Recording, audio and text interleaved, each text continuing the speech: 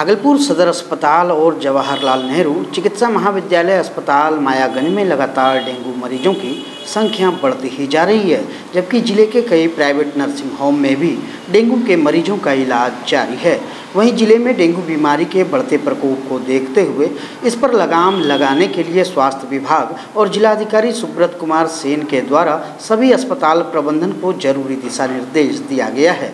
इसको लेकर गुरुवार को जिलाधिकारी सुब्रत कुमार सेन ने जयप्रकाश नारायण सदर अस्पताल का औचक निरीक्षण किया और डेंगू मरीज़ के अलावा अन्य बीमारी से ग्रसित मरीजों के इलाज के लिए मुकम्मल व्यवस्था करने का निर्देश स्वास्थ्य विभाग के पदाधिकारियों और स्वास्थ्य कर्मियों को दिया। निरीक्षण के दौरान कई जगह पर बेहतर इंतज़ाम दिखाई दिया, जबकि कुछ जगहों पर भारी अनियमितता देखकर डीएम ने इसका कारण विभाग के पदाधिकारियों एवं उनकी टीम के बीच आपसी सामंजस्य की कमी को बताया, जबकि इसको लेकर जिलाधिकारी ने अस्पताल के प्रभारी और प्रबंधन से स्पष्टीकरण भी पूछा है।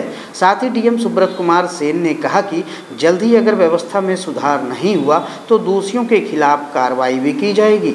वहीं निरीक्षण के बाद जिलाधिकारी सुब्रत कुमार सेन ने कहा कि ज़िले में डेंगू के मामले लगातार बढ़ रहे हैं, जिसको लेकर अस्पताल में सौ फैब्रिकेटेड बेड लगाए गए हैं और फैब्रिकेटेड स्ट्रक्चर विभाग में भर्ती डेंगू के मरीजों का इलाज अच्छे से चल रहा है, जबकि स्वास्थ्य विभाग के द्वारा इसी तरह का एक भवन मायागंज अस्पताल में भी जल्द बनाए जाने के लिए विभागीय प्रक्रिया जारी है। इसके अलावा डीएम ने कहा कि 30 बेड के आईसीयू का भी कार्य दो तीन दिन में पूरा कर लिया जाएगा, जबकि नवगछिया और कहलगांव में भी मरीजों के इलाज के लिए करीब 60 बेड उपलब्ध कराया गया है। वहीं सदर अस्पताल में हर जगह पर साफ़ सफ़ाई की व्यवस्था को अविलंब दुरुस्त कराने की बात डीएम ने कही। कि डेंगू के मामले लगातार जो हैं, वो बढ़ रहे हैं और उसको लेकर के जो 100 बेड का फैब्रिकेटेड जो हम लोगों का प्री फैब्रिकेटेड स्ट्रक्चर के साथ जो मायागंज में अस्पताल में जो बना है पूरा एक सिस्टम उसको पूरी तरह से एक्टिवेट कर दिया गया है और उसमें काफ़ी संख्या में मरीज़ भी भर्ती हैं। लगभग फुल है वो। और बहुत अच्छे से जो है वहाँ पे मरीज़ों का इलाज चल रहा है। इसके अतिरिक्त हम लोगों का प्रयास है कि इसी तरह का एक और स्ट्रक्चर जो है जे में मायागंज अस्पताल में बना दिया जाए। उसके लिए भी विभाग के स्तर से बात हो रही है। उसमें विभागीय स्वीकृति होने के बाद वो कार्य भी स्टार्ट किया जाएगा। इसके अतिरिक्त आईसीयू में जो कुछ काम चल रहा था बिल्डिंग का, वो अगले दो दिन में हम लोग उसको कंप्लीट करा देंगे। और कंप्लीट करा देने के बाद वहाँ भी तीस बेड जो है वो अवेलेबल हो जाएगा। इसके अतिरिक्त कुछ अतिरिक्त बेड्स को क्योंकि बेड की भी कमी वहाँ पाई गई है तो तीस बेड मायागंज अस्पताल में मिल रहा है। इसके अतिरिक्त हम लोग जो जिला में जो सिविल सर्जन के डिफरेंट ऑफ़िस में उपलब्ध हैं, अस्पतालों में उपलब्ध है, जैसे नवगछिया अनुमंडलीय अस्पताल में, कहलगाँव में, वहाँ से भी हम लोग पचास साठ बेड जो है वो हम लोग जे को अवेलेबल करा रहे हैं। इसके अतिरिक्त सदर अस्पताल में थोड़ा सा कोऑर्डिनेशन का इशू जो है यहाँ के टीम में देखने को मिल रहा है सिविल सर्जन और उनकी टीम में। तो इसमें भी अपेक्षित सुधार किया जाएगा।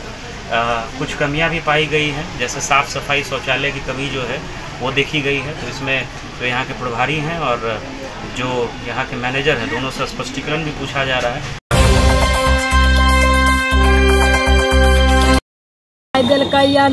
भागलपुर में बालू माफियाओं पर नकेल कसने के लिए पुलिस प्रशासन कई हथकंडे अपना रही है, लेकिन बालू माफिया अवैध रूप से बालू खनन करने से बाज नहीं आ रहे हैं। रात गहरी होते ही बालू माफियाओं का गोरख धंधा शुरू हो जाता है और सुबह होने से पहले अवैध बालू खनन से करोड़ों रुपए का व्यवसाय कर लेते हैं।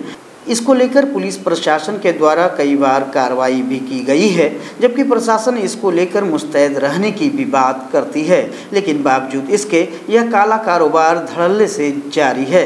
वहीं इसको लेकर विधि व्यवस्था डीएसपी डॉक्टर गौरव कुमार ने देर रात टीम गठित कर कजरैली थाना क्षेत्र में अवैध रूप से बालू खरीद बिक्री करने वाले माफियाओं पर नकेल कसने के लिए अभियान चलाया, जिसमें पुलिस ने बालू के 16 ओवरलोड ट्रैक्टर को जब्त किया है।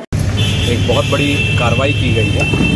वरीय पुलिस अधीक्षक भागलपुर को गुप्त सूचना मिल रही थी कि बांका और भागलपुर के सीमावर्ती इलाके में अवैध खनन लदा ट्रैक्टर जो है उसका परिचालन हो रहा है। सजौर जगदीशपुर कजरैली उस क्षेत्र में और इस सूचना का सत्यापन किया गया और सत्यापन करने के उपरांत वरीय पुलिस अधीक्षक भागलपुर के दिशा निर्देश में एक टीम का गठन किया गया और इस टीम ने कल रात्रि 12 बजे से लेकर सुबह 4 बजे तक अवैध खनन के विरुद्ध कार्रवाई की, जिसमें 14 ट्रैक्टर अवैध बालू के तहत पकड़ा गया है। दो ट्रक जो है वो जब्त किया गया है और 250 सीएफटी बालू उसको भी जब्त किया गया है। इस टीम, देखिए, जगदीशपुर में भी हम लोग हमारी टीम जो है भागलपुर पुलिस समय समय पर विशेष अभियान चलाती है, अवैध बालू के अगेंस्ट और अभी जो हमें आंकड़ा जो मिला है हमारे पूरे रेड का और अवैध खनन के विरुद्ध जो हमने कार्रवाई की है, उसमें वर्ष जुलाई 2022 से जून 2023 तक जो अवैध खनन में प्रतिशत बढ़ोतरी है, जो ये आंकड़ा मिला है, उसमें प्राथमिकी जो है वो 80 प्रतिशत की बढ़ोतरी हुई है प्राथमिकी में, जगदीशपुर में।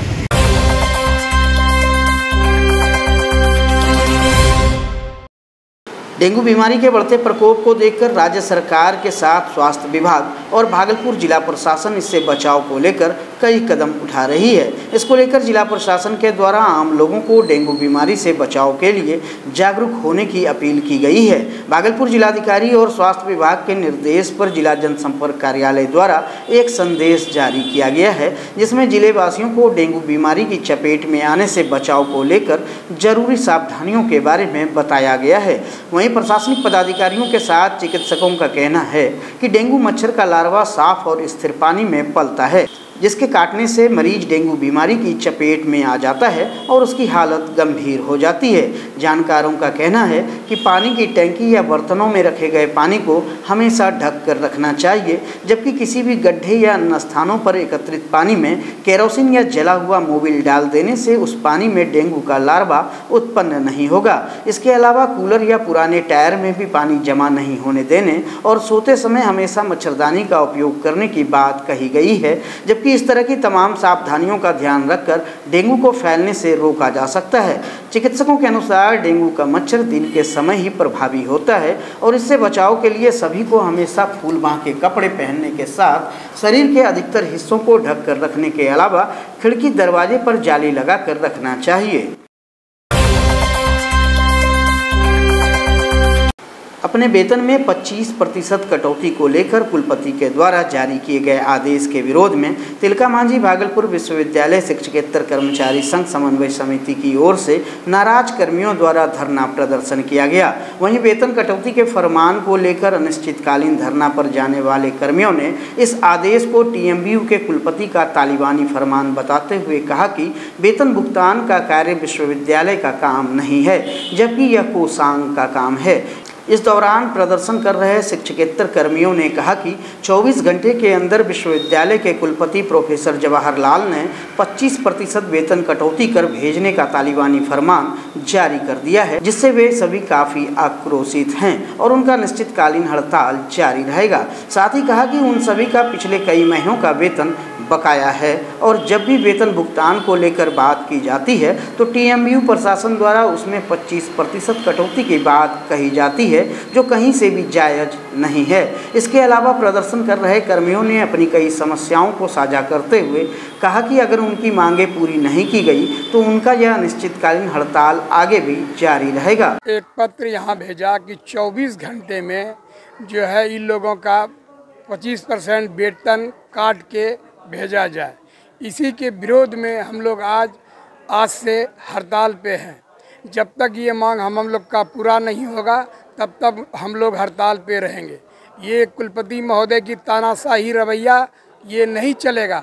जब तक वो हम लोग को वेतन, एक तो चार महीने से हम लोग का वेतन आया है। हम लोग का परिवार, बाल बच्चा काफ़ी भूखे के कगार पर है। हम लोग अपने बच्चे को जो है वो ट्यूशन फ़ी नहीं दे पा रहे हैं और हम लोग को दिक्कत है और ये नया फरमान इनका चालू हो गया है।